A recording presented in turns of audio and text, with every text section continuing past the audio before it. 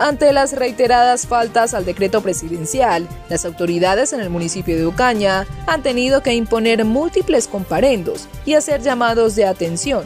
acciones que al parecer no son bien vistas por los ciudadanos. Tenemos que el día, eh, a la madrugada del domingo, en el barrio El Dorado, un grupo de personas eh, consumiendo licor y, con música alto volumen, violando completamente eh, la cuarentena y las disposiciones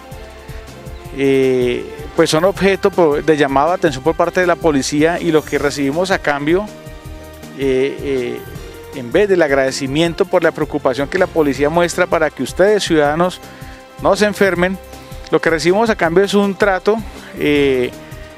tipo azonada, donde me agreden los policías, me los tratan con palabras oeces, con grosería, eh, rodeándolos y a donde fue necesario desplegar más unidades para poder apoyar este procedimiento. La situación se presentó con algunos ciudadanos que estaban ingiriendo alcohol. Afortunadamente no tuvimos policías lesionados. Eh, como ya hemos venido viendo noticias en otras partes del país, las personas no quieren entender